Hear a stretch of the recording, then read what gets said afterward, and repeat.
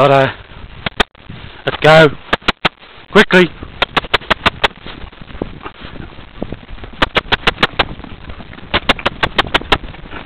Come here.